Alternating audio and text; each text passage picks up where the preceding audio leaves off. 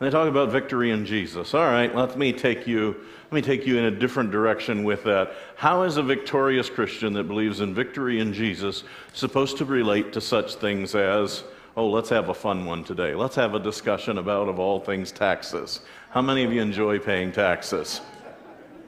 Oh, right? But the question really is how is the Christian supposed to relate to the government? It's a question that's been out there for ages and eons and continues to operate. I've heard some doozies.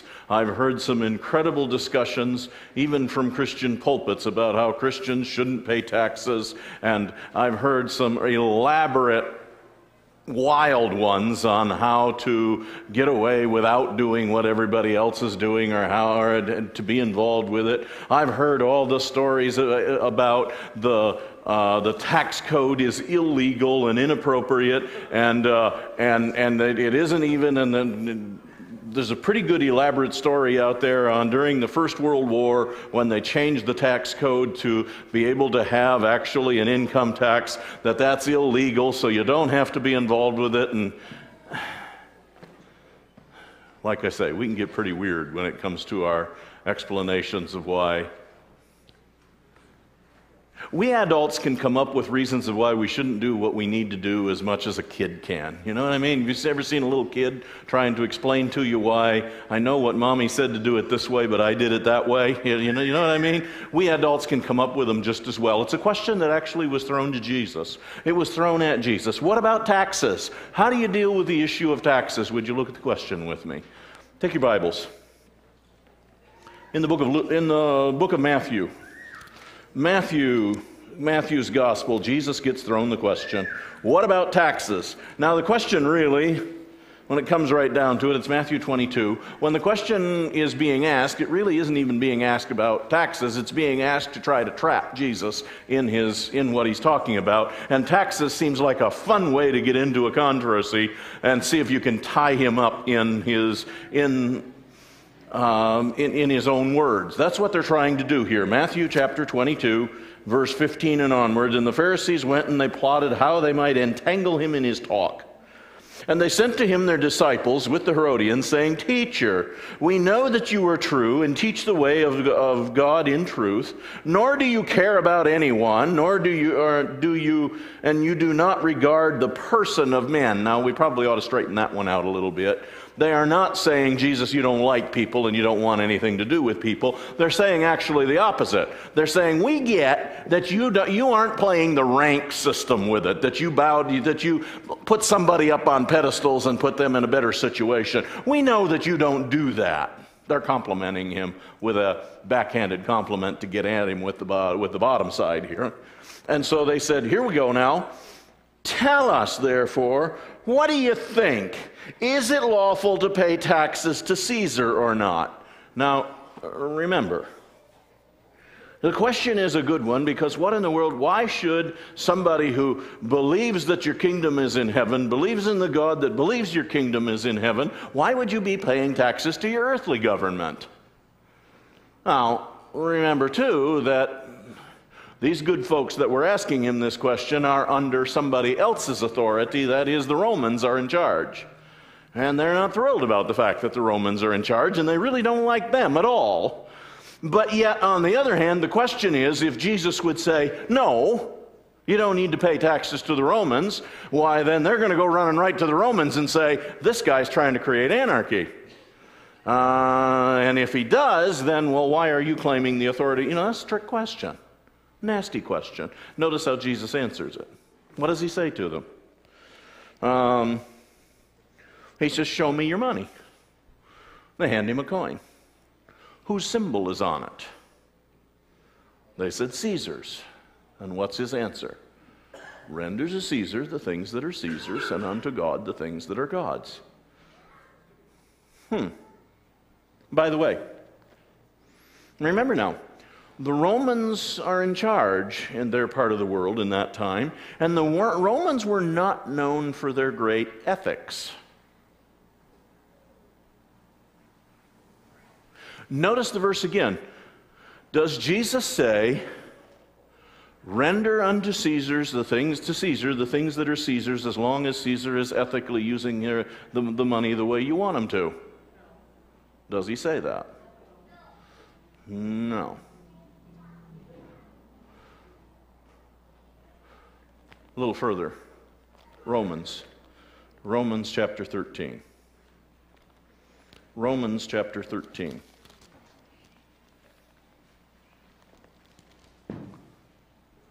Let every subject, let every, let every soul be subject to the governing authorities. For as there is no authority except from God, and the authorities that exist are appointed by God. Therefore, whoever resists the authority resists the ordinance of God, and those who resist will bring judgment on themselves. The rulers are not a terror to good works, but to evil. Do not be unafraid. Uh, do you want to be unafraid of the authority? Do what is good, and you will have no have praise for the same. All right. Anybody ever here driving down the road, minding your own business, see a police officer, police car going by, and go, huh, huh? You ever done that? Now, why'd you do that? There, there isn't anybody here that would ever be um, trying to get there as fast as you can.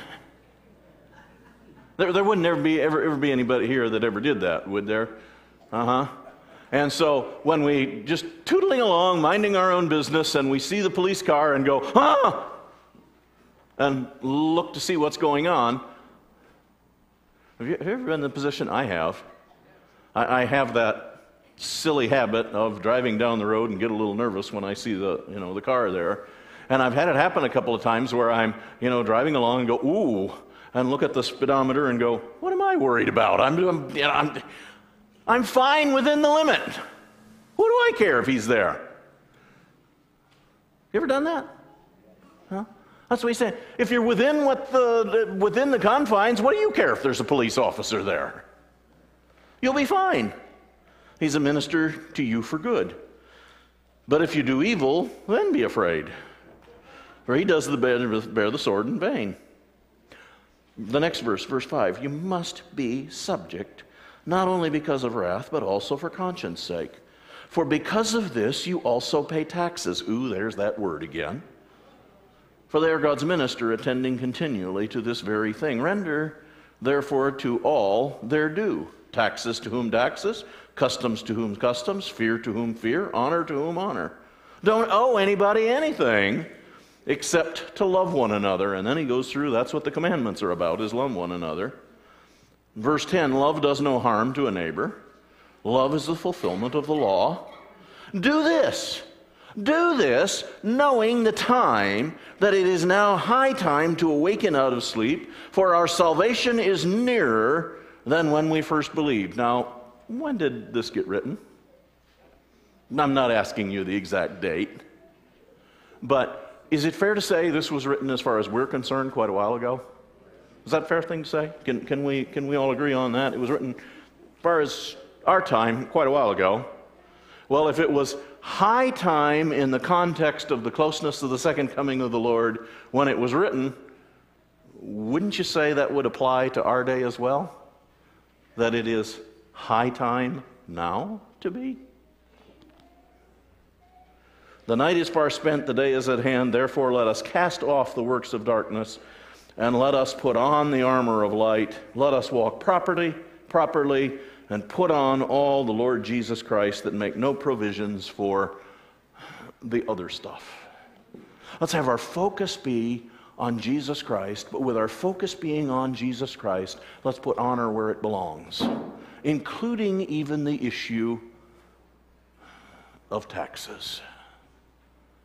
Now, what does that mean, actually, render to each?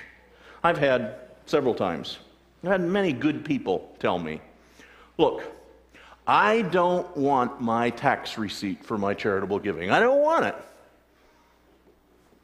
Because I don't give for my tax receipt. I give because I give to God, and so I don't want that to be part of my giving process. I want to give for this. And I can, you know, God bless them if that's their position. I think there's another side to the coin, too. My friend, Bert. Bert was born the same year as my dad. My dad had died young. We were in this church, and Bert was about the same age as what my dad would have been. Interesting character. Bert was one of those type A's of a type A. You know what type A personality is? Type A's are those ones that are the hard chargers and they'll, they'll, they're going to do whatever and wherever. They're going to succeed and they're going to accomplish and they're going to take on the world. Those type A's. Bert was a type A of the type A's. He was one that could be, he was one of these guys. When he came out of school, he got his nursing degree. Um, the, the, he and his wife got married, and they went off to a third world country. And he gave literally thousands, maybe even in the hundreds of thousands, of shots in a third world country to um, uh, vaccinations and stuff in this third world country. He was there. He was going to take on the world and do. Uh, he was one that even his personality could just change and address things. His wife always wanted to be a teacher, and Bert taught her into being a nurse, like talked her into being a nurse like he was. Uh, she was a nurse and involved with following him around the world, all over the place, doing things. He decided he got tired of being a nurse, so and a little later on in age, he went back to med school and become a doctor. That wasn't good enough either. He had to go back to school some more and get a, uh, um, a, a subspecialty within of a subspecialty. He was a hard charger. He decided one day, he came home and he said, Honey, if you and I are ever going to get, uh, going to get to retirement, we're going to have to take care of it on our own. So he and his wife took care of their own retirement planning and stuff. Um, and when I knew him, they were in retirement. And he kept saying, Pastor, if you're on to retire, you better take care of it on your own. Take care of it on your own. He even told me, he says, if you want to get your kids through school, buy this stock. Buy this stock. It'll put your kids through school. He just, okay?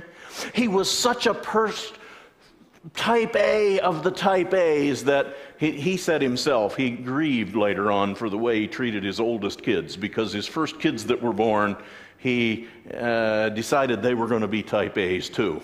And you can imagine the discussion that created at home. I mean, he was a hard charger.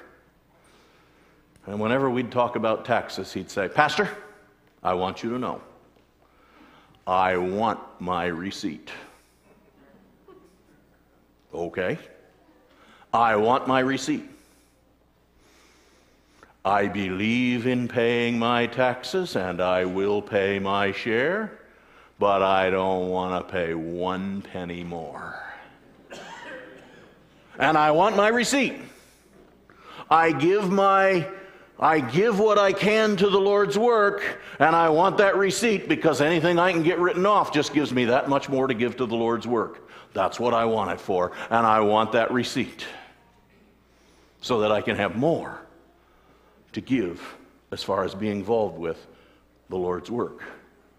And then he'd go a little farther. He says, You know, those legislators, they don't give away tax credits just for the fun of giving it away.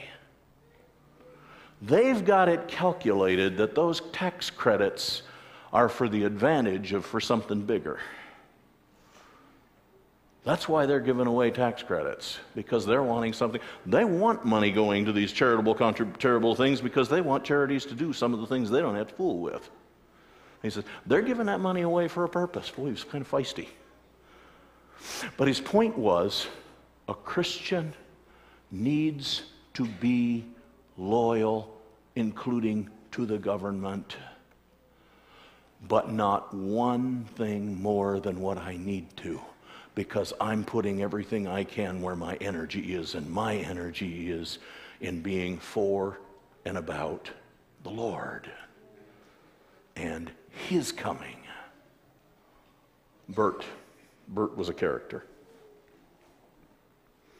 I'll tell you one on him. His soft spot in his heart was for young people, for kids. His soft spot, his soft spot was for Adventist Christian education. Okay? And he, I, I remember one time, he says, he would come to me, he would come to the pastor. It was supposed to be a big secret. Of course, it wasn't. You know, Bert was, but it was supposed to be this big secret. I, I wanna, I want, I got a little, got a little extra back. I want to give a little more to the to tuition assistance. I'd say, okay. And he'd say, now, I want you to take care of this for me. I'd say, okay. And he'd tell me the same story every time. He says, now, I want you to know something. I want you to know something. You know, got that finger, you know. I want you to know something. I know the laws, and I know I can't tell you where to put that money. See, when you designate, then it's not charitable contribution anymore. Okay? Can't do that. Bert says, Now I know the laws. I've checked this out. And I know that I can't tell you where to, how to distribute when I put this money in or it's not tax deductible. And I want my deduction because I don't want to pay one more one than I have to. Yep, yep, yep. I got so I knew the speech. I knew where it was going every time. Tell the same story. Now, he says, I know I can't tell you that when I give it, the committee that decides where that money's go can do whatever it wants to do with it. And I have nothing to say about it. But I want to tell you something, Pastor. I will have some suggestions for the committee. and I know that my suggestions don't have to mean anything. The committee can do whatever it wants to, but I want you to know something. If the committee does not follow along the things that my suggestions might be, they will not have to worry about what to do with the money next year. That was what, you know?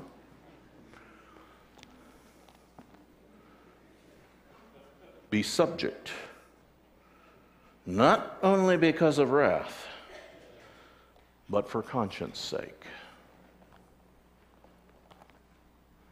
But the focus for the Christian is about the heavenly kingdom, not the earthly kingdom.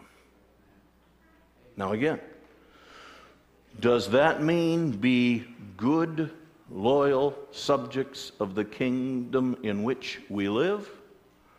Absolutely. Does that mean be loyal even to the point of the laws like everybody else? Of course, a Christian should be loyal within the country. And again, I know. I remember growing up in the 70s and getting into the 80s and reading the newspaper. One of my favorites. Oh, it created a bit of a commotion for a couple of days. And the anti tax people were screaming. Did you hear the one? It was NASA was sending the space shuttle up and it had a $600 toilet seat on it. And there were several people that were saying, I can't believe the government's spending money on such crazy things. I can go to Walmart and buy you a toilet seat to put on that thing. What in the world do we need to have a $600 one of them for? And they had a special hammer that they had designed that had, I don't know, I think the thing was a thousand bucks for a hammer or something like that. You know, when you could go to, go to Home Depot and get one for what, 10 bucks? You know? I say, I'm giving my tax dollars for this.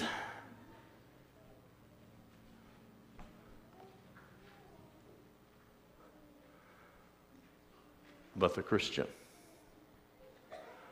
is loyal to the government. And the government does not give tax breaks for silly reasons. They give tax breaks to try to encourage other type situations. It's not given to try to play games. I'm on the side of old Bert. I think the Christians should be loyal in their taxes but take the tax breaks that come to you. Take them if they're available. Um, Arizona even has a one I've never heard of until I came here. This tax break that they'll give you to put to charitable contributions for kids in private school. Here again, we can talk about whether that's good, but the government does not give, the legislators do not give tax breaks for no reason. It's calculated. It's calculated. You know why? When I was in North Carolina, it was pretty simple. We, we did research on this where I was at one time. At that time, our local elementary school, our local private elementary school, was educating kids for about $3,000 a year per kid. You know how much the local county was paying for kid, per kid for their education? About seven.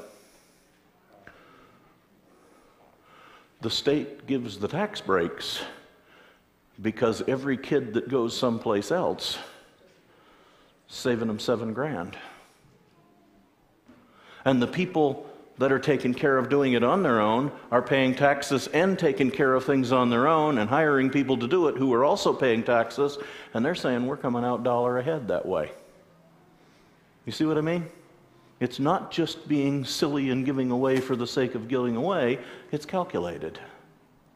So when the government gives a tax break, it's because they think they're calculating that they're going to come out ahead in the game. Why wouldn't I take advantage of it? To be about doing the best I can for the Lord's work. Now there's another crazy one. Let's go to a fish story. It's in Matthew chapter 17, and it's about taxes again, but it's a different type of tax. Matthew chapter 17. It's a tax story. All about taxes. Matthew chapter 17. Now, when they came, now when he was.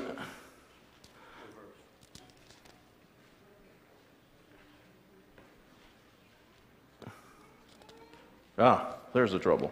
You know, when it doesn't fit, there's something not right, it usually helps to have the right book. Usually helps to have the right book. Matthew chapter 17, verse 24. And when they had come to Capernaum, those who received the temple tax came to Peter and said, Does your teacher not pay the temple tax? And he said, Oh, yes. And when they had come into the house, Jesus anticipated him. What's going on here? The temple tax is a little different than the regular tax. The temple tax is not paid to the Romans, the temple tax is to paid for the upkeep of the tabernacle or the temple in Jerusalem. It is a Jewish thing, okay? Um, thing that comes in a little bit handy here. Have, have you ever, by the way, the temple tax was not required to be paid. Okay? It was not required to be paid, it was voluntary. But, let me be a little bit masculine here for a minute, okay? You, you ladies just kind of, you know, let me be, uh, I gotta be a little careful here. I was an old man when Jenny and I got married. I was, I was well out of college. I had been on my own for 10 years, okay, when Jenny and I got married. I had my own stuff. I had my own apartment all put together and planned and taken care of. I had my own kitchen stuff. I had my own uh, living room stuff. I had my own bedroom set. I had all that stuff, okay? Now, Jenny had been out of college a few years, so she had all that stuff too. So we basically have enough for two of what to do with everything, okay? Now, a funny thing happened along the way. It took me a long time to catch on to what was going on. I had all my own stuff. It even happened in the context of my own car. I had a car. It was amazing how, within just the first couple of years, Everything that I had had before we were married, we got rid of. And it was my idea. And it took me a while to go, wait a minute, what happened here? How did this happen? I had experience with this, see. A few years later, I'm pastoring at an academy church. And when I'm pastoring at this academy church, there was this young man who had been, he, he was the star of the football team and the basketball team and everything else. He was the one that was the, the cat's meow. He was the big man on campus for everything that happened. He was it. And he had graduated, went off to college, and his parents still lived there, so he'd come back every once in a while for vacations and stuff. So here we are, Thanksgiving, his freshman year, he's off at college, comes back for Thanksgiving, and he's got all this facial hair. He's got the big mustache and the goatee and all this stuff. You know, he's big and coming down and everything. And, and uh, I didn't think much of it. He goes back to school, comes back for Christmas vacation, and he comes walking up to the church, and he's, he's got, he's hand in hand with this cute little special thing. And I noticed all the facial hair was gone. And I said, dude, what happened to all the. And he says, Oh, I just decided, you know, that was an experience. I didn't do that. I said, Yeah, I know better than that. He says, What do you mean? I said, I know how this goes. She was saying, I'm not kissing that, but you decide if you're keeping it or not.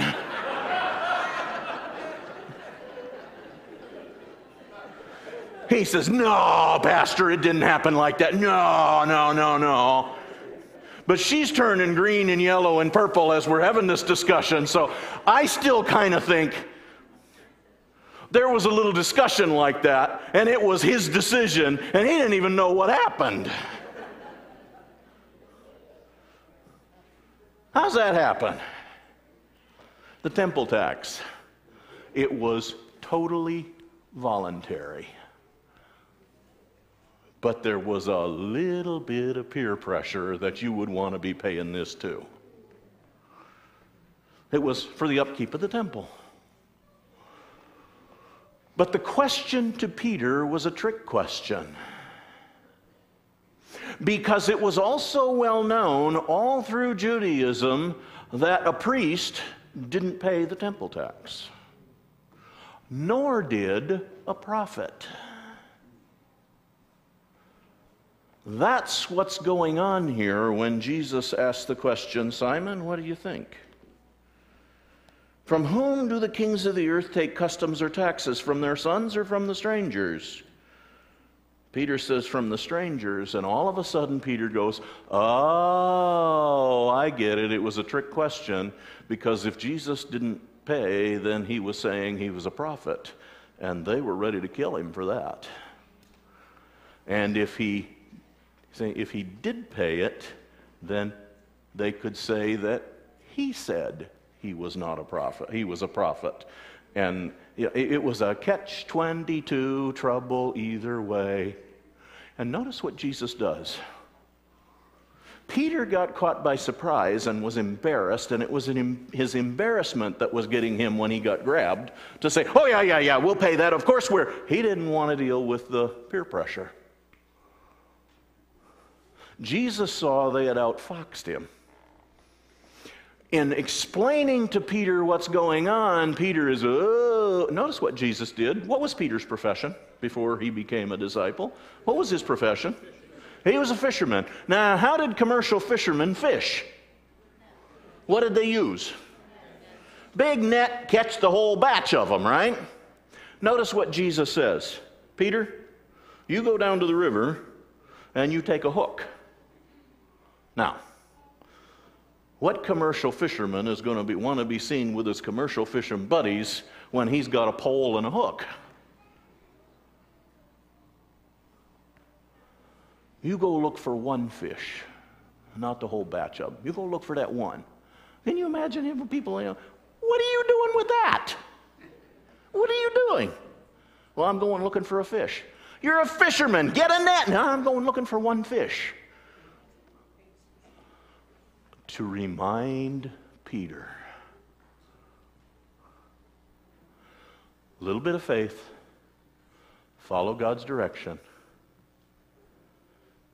and God will take care of the need. The exact amount in the first fish you catch, the exact amount to pay the temple tax for you and for me, Peter. And you can carry your pole back home with your coin out of the fish's mouth and go to the temple and pay your temple tax, remembering that God took care of the problem before you even knew you had a problem. Can God take care of his people? Amen. Stay loyal. Play by the rules. Can God take care of his people? Before there's a problem that we know about, God has the answer there. George Mueller. George Mueller, you know the name? Orphanages in London. George Mueller was a, not a wealthy man. It was in the early 1800s. He was in London, and there was a problem in London that had him frustrated. Upwards to 6,000 children were in prison because the prison was the only place that the, the government had to deal with children that didn't have somebody to take care of them. So little kids, they dumped them off for the prison guards to take care of them. That's where they were being taken care of. And Mueller is saying, this is a problem. And then he made his mistake. You know the mistake? Somebody should. Have you ever heard that? Somebody should do something about this. Now, he felt mighty safe. He was just a guy with no money and no anything. He didn't even have a house, much less a house big enough to take care of a bunch of orphans. He sure didn't have the money to do anything, but somebody should. And in his devotions one morning, he was reading in his Bible Psalm 81 10. Open your mouth and I will fill it. Open your mouth and I will fill it. And he said, Well, Lord, I guess if you're telling me, if you'll take away, make a way, we'll do it. And he just prayed. First gift he got was one shilling. Now, you're not going to do much with one shilling, but it was an encouragement to keep him going. One of the gifts he got was one lady took all of her jewelry and gave it to him for the orphanages. And in that jewelry, there was a ring with a rock on it. Then he took that ring and engraved on his mirror Jehovah Jireh. The Lord will provide. The Lord will provide. 10,000 plus children put in orphanages because one man was praying. Because that one man believed. Open your mouth and God will fill it. Does God take care of his people and take care of his needs? Faith is opening your mouth. That God will take care of his people. Be faithful and see what God can do. Amen. Amen. Heavenly Father, help us to be faithful citizens representing you but have us to have our primary focus on what can be done in your name, by you, for you, through faithful people. Help us to remember to open our mouth and to trust you to fill it, is our prayer in Jesus' name. Amen.